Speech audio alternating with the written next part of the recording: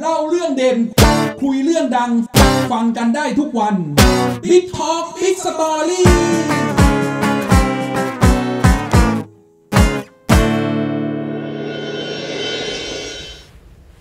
สวัสดีครับ พบกับ Big Talk Big Story นะครับ เป็นประจำทุกวันจันทร์ถึงวันศุกร์นะครับอ่าเวลาก็ประมาณ 18นาฬิกาหลัง 6 โมงเป็นต้นไปนะครับครับต้องอาจจะก็อยู่ในช่วงที่บางคนก็ทยอยกลับบ้าน นะคครัรับบบางคนก็ยังอยู่ที่ทำงานกันก็อยู่นะคถ้ารับดูเราไม่ได้ก็ดูย้อนหลังได้ อ่าเราก็แน่นอนถ้าสดก็ตอนนี้นะครับก็ดูผ่านทางเฟซบุ๊กนะครับเราก็มีการไลฟ์สดกันเป็นประจำทุกวันนะครับ ครับวันนี้เราก็ต้องพักเรื่องโควิดเอาไว้หน่อยอ่านะครับพักนะไม่ใช่ว่าพักไว้ก่อนไม่ใช่ว่าการตกนะ สถานการณ์ พักหมายถึงว่าพักการที่จะเอ่อมาเล่าสู่เรื่องโควิดเพราะว่าโควิดตอนนี้เนี่ยก็คือว่าวันนี้เป็นวันแรกที่จะครับ เปิดโอกาสให้หนึ่ต่างงชาติเมษาอ่าเปิดโอกาสให้ต่างชาตินะครับซึ่งฉีดวัคซีนครบ 2 โดสแล้วเนี่ยนะครับ ครับผมหรือเขาเรียกว่าพาสปอร์ตวัคซีนนะอ่าฮะถือมาก็เดินทางไปในจังหวัดท่องเที่ยวนะครับก็กักตัวในโรงแรมเพียง 7 วันนะครับจากเดิม 14 วัน ซึ่งก็จะประเดิมเพื่อการฟื้นฟูทางด้านเศรษฐกิจนะครับเรื่องการท่องเที่ยว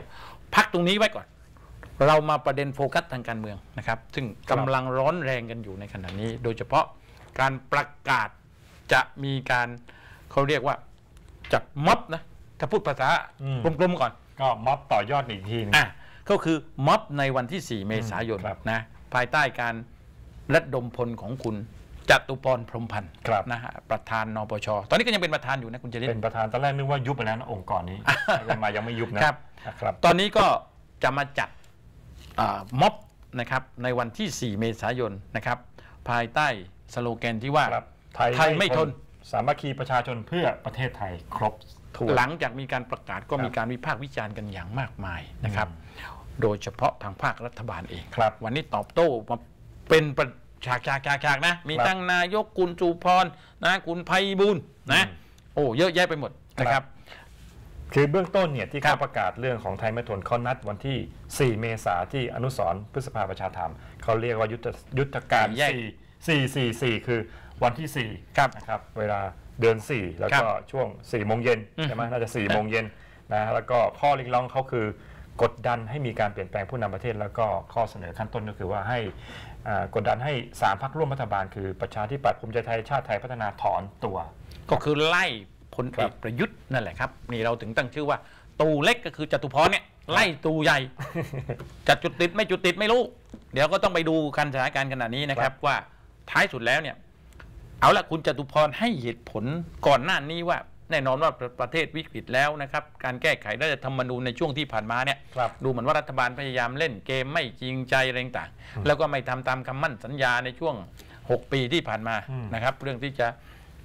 อ่าทำประเทศไทยไปข้างหน้าเรื่องการปฏิรูปฮะอะไรต่างๆกลุ่มคนเหล่าเนี้ยถึงจะได้มาโฟกัสกันนะในการที่จะปลุกกระแสเพื่อไล่บิ๊กตู่ครับ เขาย้ำขนาดไหนว่าม็อบเนี่ยหลายคนก็ยังตีความกันอยู่นะคุณชลิตฮะนะ คุณจตุพรเนี่ยมาในนามนปชหรือเสื้อแดงหรือเปล่าครับ หรืออยู่ภายใต้ใบสั่งคุณทักษิณหรือเปล่าอืมหรืออะไรยังไงฮะเอาคุณประเมินดูว่า คุณจตุพรมาคราวนี้ ครับ มาในสีเสื้อเดิมไหมอืมหรือว่าครับเปลี่ยนใหม่ หรือว่ามายังไง คุณชลิตอ่าฮะก็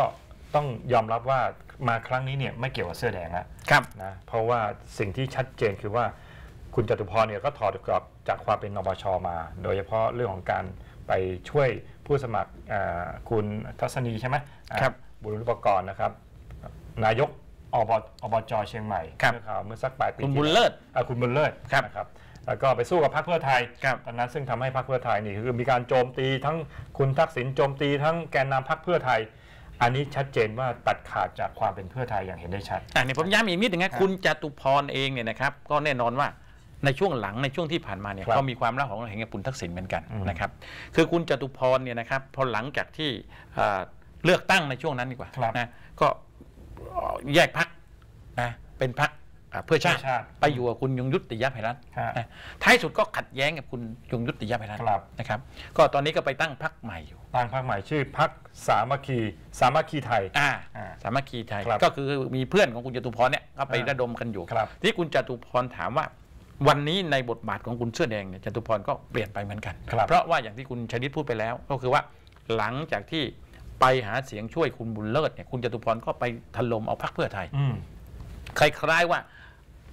คุณบุญเลิศเนี่ยนะครับครับตอนอยู่เพื่อไทยก็สู้เรื่องรัฐธรรมนูญเรื่องนั้นเรื่องนี้ท้ายที่สุดแล้วพอไปติดคุกมาพอออกมาก็ไม่เหลียวแลอืมพักเพื่อไทยไม่เหลียวแลไม่เหลียวแลส่งใครไปช่วยไปดูแลเลยแน่นอนว่าการบุกไปที่เชียงใหม่นอนย่อมกระทบกับฮะเชียงใหม่ครับ โดยเฉพาะนปชเชียงใหม่ครับนะเชียงกลุ่มเชียงใหม่ห้าหนึ่งยุมเชียงใหม่อะไรของเขาเนี่ยนะตอนนี้ก็คือว่าเขาก็ไม่พอใจครับแล้วก็คุณจตุพรก็เลยเกิดการขัดแย้งกับเสื้อแดงบางกลุ่มฮะ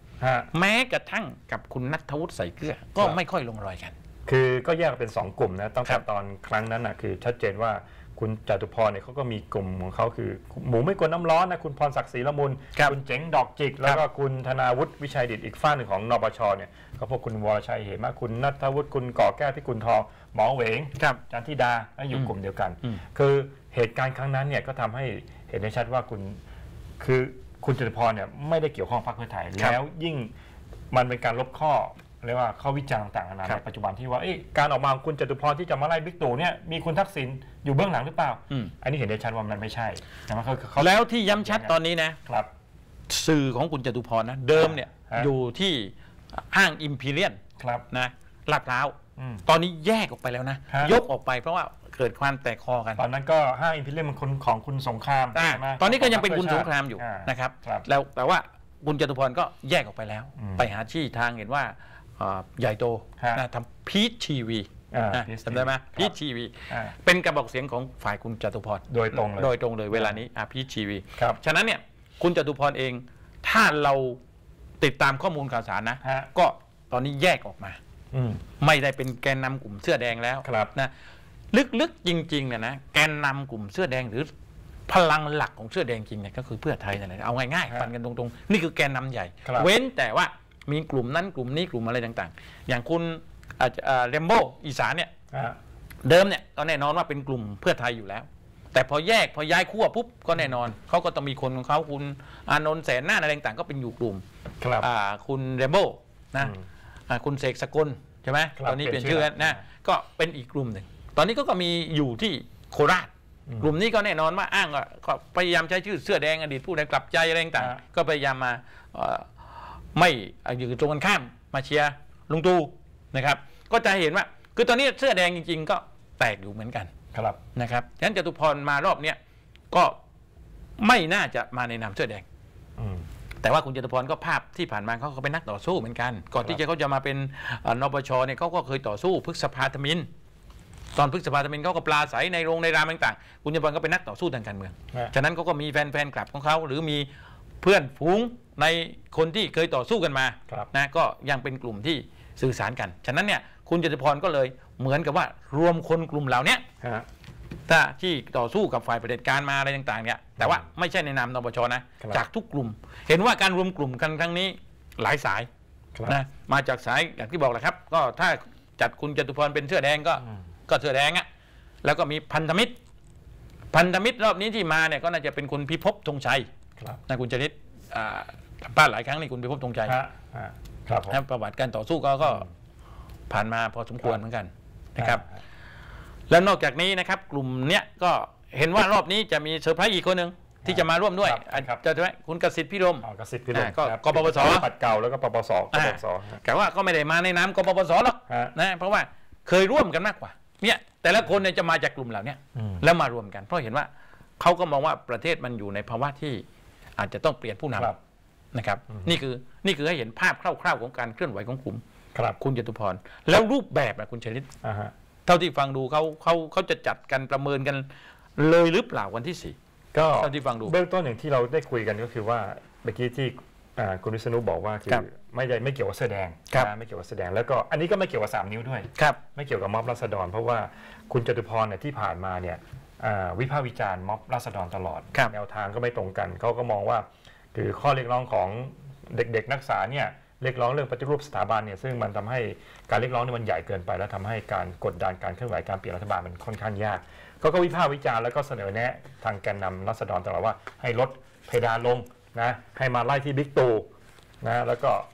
สิ่งที่เขาไปวิพากษ์วิจารณ์แกนนำรัษฎรเนี่ยทำให้เขาสูญเสีย เรียกว่ามวลชนจากพวกแนวร่วมจากเด็ก ๆ เยอะว่าเอ๊ะจตุพรเปลี่ยนไปหรือเปล่า หรือจตุพรไปอยู่ฝั่งอาของรัฐบาลพลเอกประยุทธ์หรือเปล่าครับหรือมีวาระซ่อนเล่นหรือเปล่า ดังนั้นเนี่ยมันนำมาสู่ปัจจุบันที่เราตั้งคำถามก็คือว่าเนี่ยคุณจตุพรมาครั้งที่หนึ่งไม่ได้เชื่อไม่ใช่เสื้อแดงแน่นอนครับแล้วก็ไม่ใช่3นิ้ว ส่วนจะมีวาระอย่างไรเนี่ยก็คืออย่างที่คุณวิษณุบอกว่า ก็รวบรวมกลุ่มเก่าๆเนี่ยกลุ่มที่เคยเคลื่อนไหวอยู่เป็นแกนนำภาคประชาชนอะไรต่างๆนั้นมาเคลื่อนทีนี้คำถามที่ว่าเขาจัดที่ไหนจัดอย่างไรนะก็คือว่าเขาประกาศที่อนุสรณ์อนุสรณ์สถานนะครับก็ที่สี่แยกข้อวัวสี่แยกคอกวัวครับแล้วก็ที่เขาประกาศก็คือว่าก็เป็นเวทีเสวนาตอนแรกเราเนึกว่าจะมีม็อบนะไม่ไม่ใช่ฮะไม่ใช่จัดเวไม่ใช่ทีที่ไม่ใช่อนุสรณ์เอ่อไม่ใช่ที่อนุสรณ์ประชาธิปไตยไม่ใช่นะไม่ใช่ เป็นเสวนาครับ เสวนาแล้วยังไงต่อเสวนากึ่งการปราศัย อ่ามันยังไง คือเสวนาเนี่ยคือครับคือรูปแบบเนี่ยครั้งแรกเนี่ยเขาก็ประเภทแบบเรียกระดมพลมากกว่าอ่านะถ้าใช้หัวก็คือสามัคคีประชาชน คือเชิญคนมาแสดงความเห็นกันก่อนอืมนะว่ามาร่วมกันก่อนว่าครับทิศทางประเทศควรจะเป็นยังไงปัญหาอะไรต่างๆเนี่ยทีนี้เนี่ยการมาเนี่ยก็อาจจะเป็นรูปแบบเสวนา แต่ถ้าประชาชนมันมามากฮะ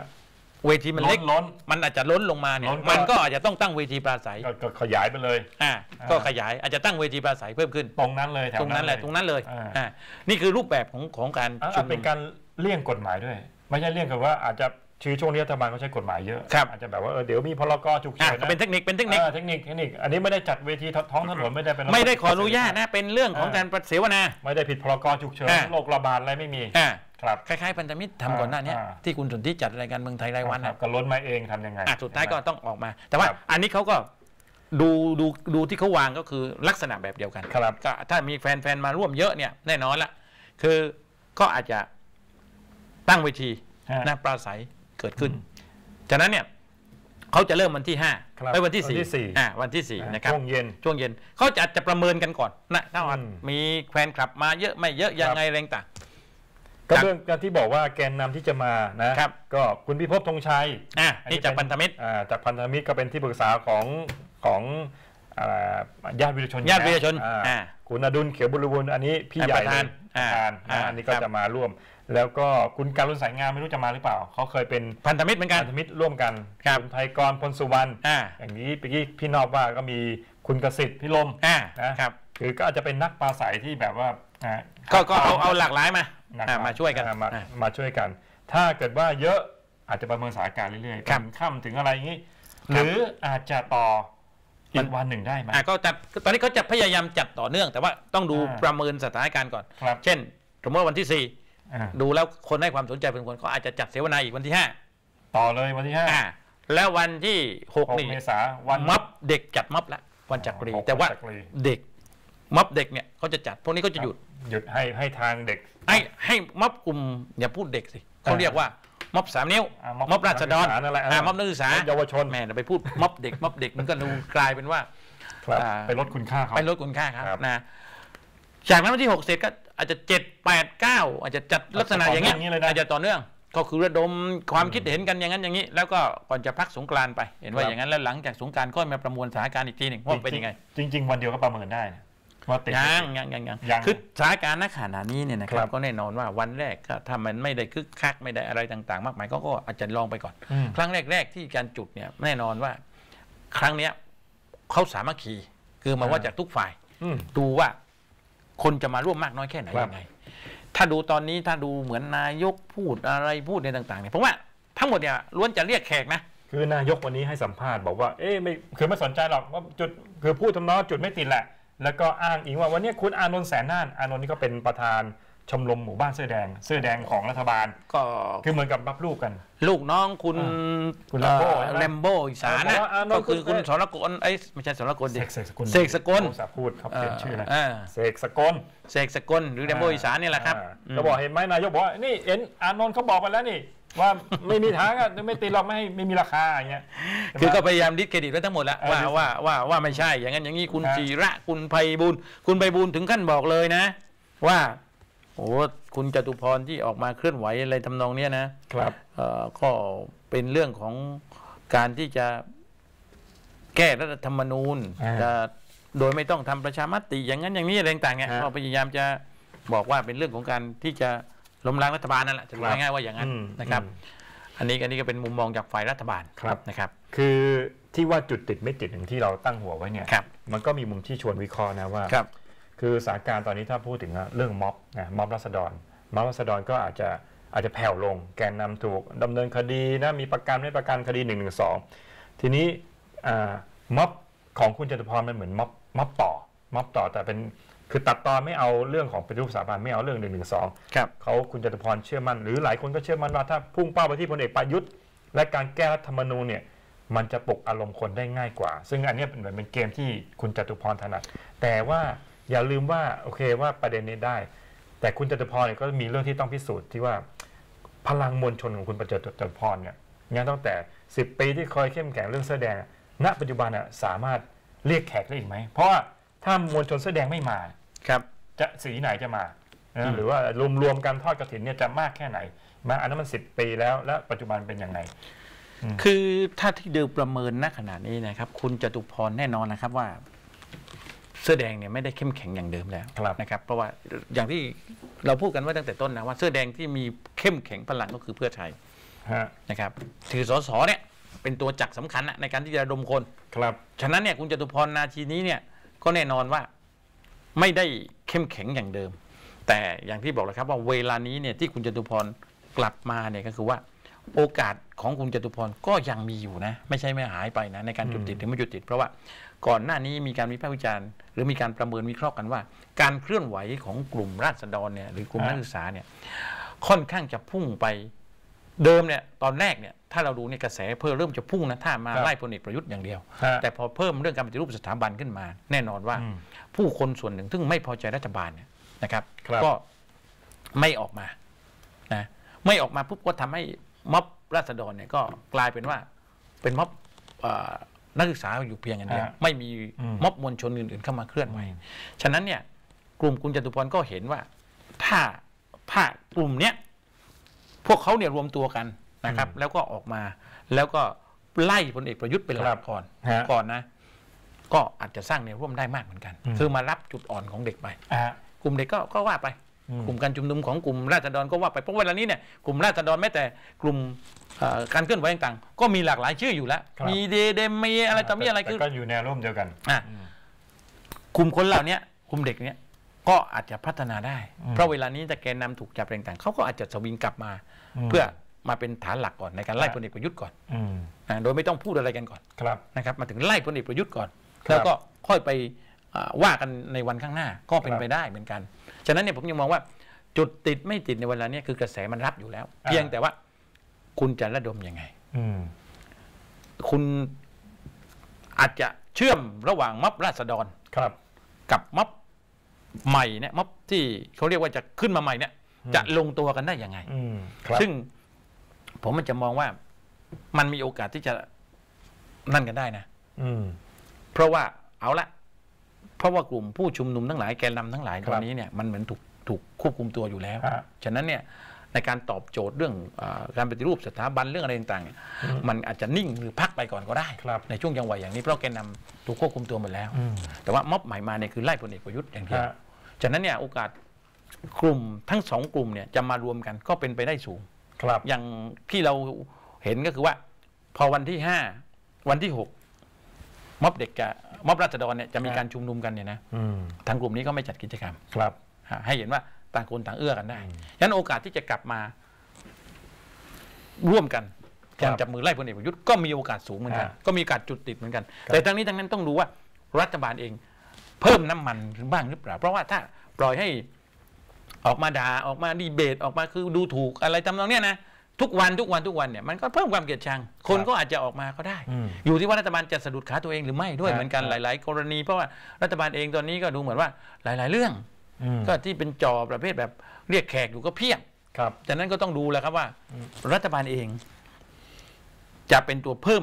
ในการ ให้ม็อบจุดติดด้วยหรือเปล่าครับหรือเปล่าหรือเปล่าด้วยฮะนะฮะก็มีมุมข้อสังเกตอีกอย่างหนึ่งนะครับว่านอกการการทำมวลชนเนี่ยนะถ้าเกิดว่าจะไล่พลเอกประยุทธ์เนี่ยเขาบอกว่าบางทีมันที่ผ่านมาเราใช้ม็อบรัษฎรก็ใช้แฟชม็อบเยอะครับมาแฟชม็อบก็หลายครั้งบางทีก็บอกว่าการไล่ที่มันจะกดดันได้คือสุดท้ายก็คือต้องปักหลักยืดเยื้อชุมนุมต่อเนื่องอืมซึ่งไอ้เงื่อนไขเนี่ยมันก็มันก็มีความสุ่มเสี่ยงทั้งเรื่องของ คือทุนก็ต้องหนานะ คนครัที่บจัดม็อบเนี่ยเพราะว่าจะต้องมีการอ่าเรียกเช่าเครื่องขยายเสียงใช่ไหมอาหารการไอ้นั้นไม่เท่าไหร่ละนะการระดมพลทั้งหลายเนี่ยฮะคือคืออืมคือแน่นอนว่าคำถามมีครับอยู่ในแฟนอ่าพวกจัดม็อบทั้งหลายเนี่ย คุณจตุพรเอาเงินมาจากไหนอืมจะมาไล่คุณประยุทธ์ใครเป็นทุนครับอันนี้คือคำถามที่ที่ที่ทุกคนตั้งคำถามหมายหมายถึงว่าคนที่ติดตามข้อมูลข่าวสารเนี่ยว่ามีไหมมีพอไหม ครับอืมถึงณวันนี้เราก็ยังไม่ไม่เห็นชัดนะครับ ว่าว่ากลุ่มทุนจะขนาดไหนคือแน่นอนว่าทุนมันจะเป็นปัจจัยหนึ่งในการที่จะทำให้ม็อบเนี่ยแข็งแรงหรือไม่อย่างไรนะนะครับและอีกประเด็นที่น่าสนใจก็คือว่าการเปิดตัวกลุ่มของคุณจตุพรเนี่ย ครับ มันก็อาจจะไปตรงกับเขาเรียกว่าการตั้งพรรคของคุณจตุพรด้วยคือครับ โดยเฉพาะการตั้งใช้ชื่อเนี่ยมันก็เชื่อมโยงกันนะ อย่างพรรคของคุณจตุพรที่ให้ เรียกว่าคนสนิทนะคุณดรรยุทธ์เนี่ยครับที่เคยอยู่เพื่อชาติมาแล้วลาออกไปตั้งพรรคพรรคสามัคคีไทยครับก็ใช้ชื่อพรรคสามัคคีไทยพรรคอืมเนี้ก็มีดรรยุทธ์เนี่ยก็ทำหน้าที่วิพากษ์วิจารณ์รัฐบาลคอรับยู่ก็ส่งข่าวให้กับสื่อมวลชน แล้วก็หัวข้อที่ปราศัยที่ใช้ในการอ่ายุทธการเขานี่คือไทยไม่ทนสามัคคีประชาชนเพื่อประเทศไทย มันก็มีอะไรที่มันสอดรับกันอืมคือพักใหม่เนี่ยคือ เราอย่าลืมว่าถ้าเกิดว่า ตอนเนี้ยกระแสการตั้งพรรคที่เราเคยวิเคราะห์กันครับมันก็เยอะขึ้นเยอะขึ้นอืมอืมทุกคนเนี่ย playmaker ต่างๆ ก็ต้องการสร้างตัวตนคือให้จำได้อะครับอย่างน้อยเนี่ยอืมคะแนนไม่เยอะอ้าว wording ไงจำไม่ได้ รวมไทยสร้างชาติอย่างนี้สมมติว่าอย่างนี้จำได้อะคุณจตุพรเนี่ยอะอืมให้สักหนึ่งคะแนนครับใช่ไหมก็มีโอกาสถ้าไม่แก้ระบบเลือกตั้งนะครับถ้าไม่แก้ระบบเลือกตั้งก็เป็นลักษณะจัดจัดสรรปันส่วนผสมผสมเนี่ยครับก็มีโอกาสที่จะได้รับเลือกอ่าก็ต้องดูว่าหนึ่งวาระในการไล่ครั้งเนี้ยมีมีมี ผลอย่างไรต่างครับพักไหมหรือว่าไล่จริง ๆ หรือยังไงครับนะครับก็ก็ก็อย่างที่บอกเลยครับว่า ครั้งนี้เนี่ยคุณจตุพรจะต้องฝ่าด่านเรื่องของเออคำถามต่างๆ มากมายนะครับครับจากฝ่ายคู่กรณีฝ่ายตรงกันข้ามฝ่ายรัฐบาลที่ประดังประดังเข้าไปใส่คุณจตุพรฉะนั้นเนี่ยอันนี้ก็เป็นส่วนหนึ่งที่คุณจตุพรเองจะต้องเอ่อตอบให้ได้เหมือนกัน ครับ มันถึงจะ สร้างความยอมรับให้กับกลุ่มต่างๆที่จะได้เข้าไปร่วมกันก็ได้อืมอ่าแต่ว่าแน่นอนว่าการที่คุณจตุพรออกมาในลักษณะอย่างเนี้ยก็แรกๆเนี่ยผมก็ยังเชื่อว่าอ่าหลายส่วนก็ยังจับตามองยังไม่เข้ามาชัดทีเดียวฮะนะต้องต้องดูกันยาวอืมๆมันถึงจะประเมินสถานการณ์ได้ว่า เอ๊ะท้ายสุดแล้วคุณจตุพรจะทำในนามใคร มีเบื้องหน้าเบื้องหลังหรือไม่อย่างไร อันนี้ก็เป็นส่วนที่จะต้องเออต้องรอรอวันเวลานะครับครับแต่ว่า เบื้องต้นแน่นอนว่าสถาสถานการณ์ขนาดนี้ทางการเมืองขนาดนี้ก็ครับพร้อมที่จะสร้างอุณหภูมินะครับการอ่าเขาเรียกว่าอ่าสามารถที่จะทำให้ผู้คนได้เกิดความสนใจได้ฮะนะครับ แต่ว่าจะไปร่วมหรือไม่ก็เป็นอีกเรื่องอีกเรื่องหนึ่งครับแต่ว่าสังคมตอนนี้ก็คือให้ความสนใจกับการจัดกิจกรรมของคุณจตุพรครั้งนี้พอสมควรนะครับอะให้เห็นภาพคร่าวๆนะครับสำหรับวันนี้ก็เวลาหมดหมดเวลาแล้วครับ ผมกับคุณชัยฤทธิ์ ครับผมต้องลาไปก่อนนะครับ พบกับเราได้ใหม่ทุกวันจันทร์ถึงวันศุกร์สำหรับวันนี้ สวัสดีครับ สวัสดีครับ เล่าเรื่องเด่น คุยเรื่องดัง ฟังกันได้ทุกวัน Big Talk Big Story